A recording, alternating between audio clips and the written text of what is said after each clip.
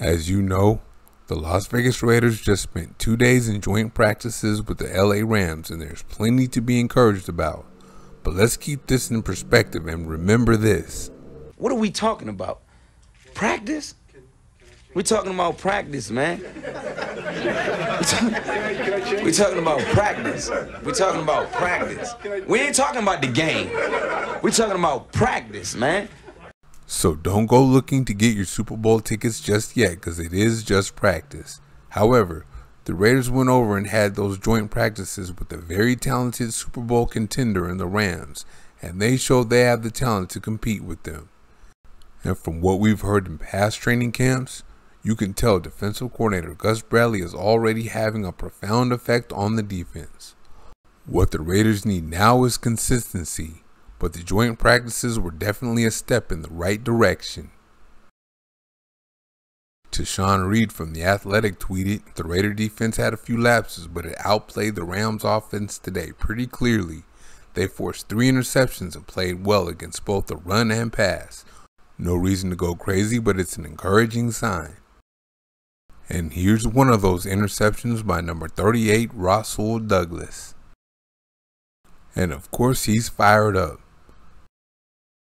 Derek Carr had a little something to say about the difference in the defense.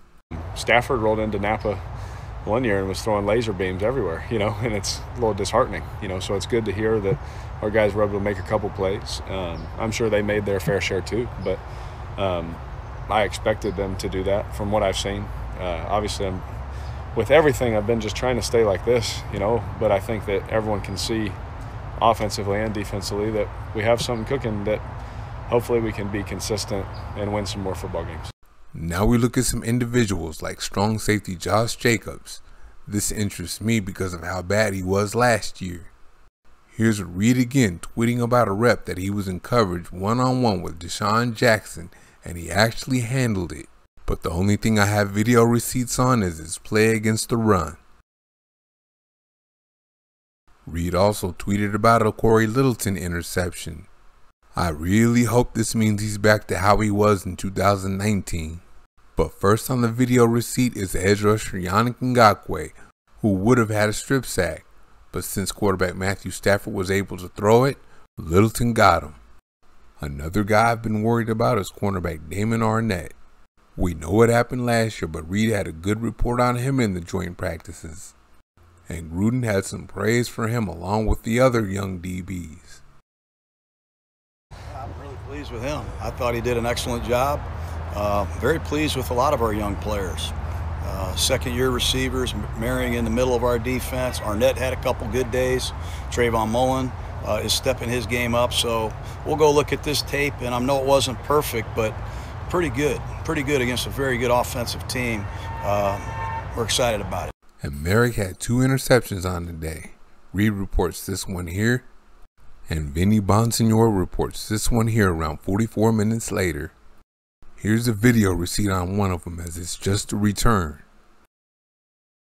And the encore after the two interception day wasn't bad. Here he shows range on a nice breakup on day two.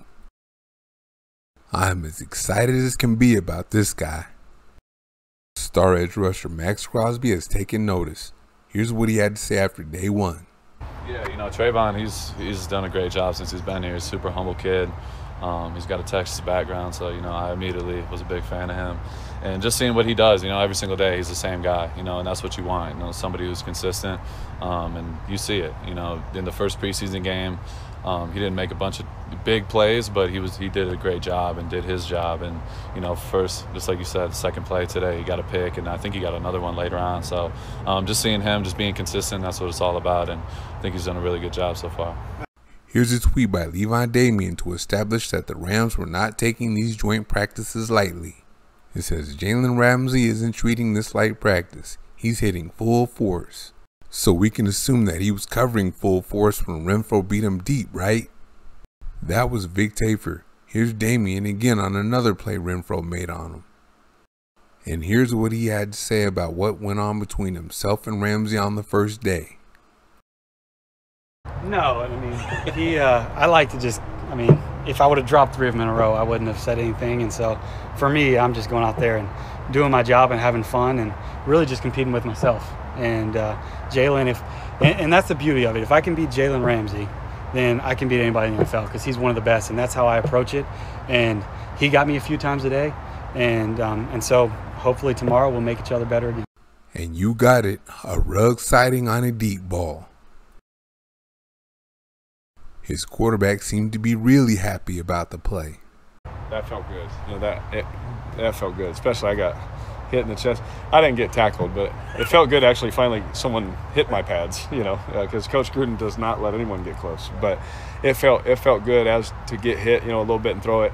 Felt like football again. But no, to see, I know Henry had a couple drops before that, and uh, you know obviously some words were said on the sideline with Gru, you know, as Gruden gets, uh, and uh, to see him respond, you know, I think we saw in the two minute drill, you know, he caught the ball and had a burst, you know, of 35, 40 yard gain. Then we saw that big play. We know he can do it, you know, and again, he's so young, he's so raw. Uh, but to see him bounce back, he's, he's a competitor. I've told you guys, he's not just a track guy, he's a competitor. He loves football, he's tough. Uh, so to see him do that, I was really happy for him.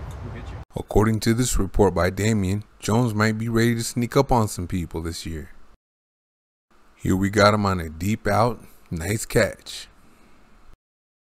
And now we got him on a fade from Mariota. Come on, man, that's beautiful.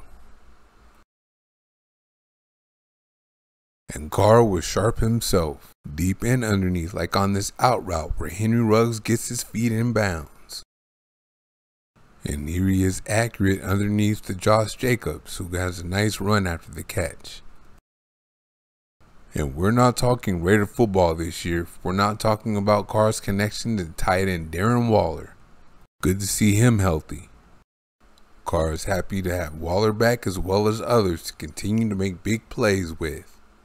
He particularly liked what he saw against the tough Ram defense those couple of days too.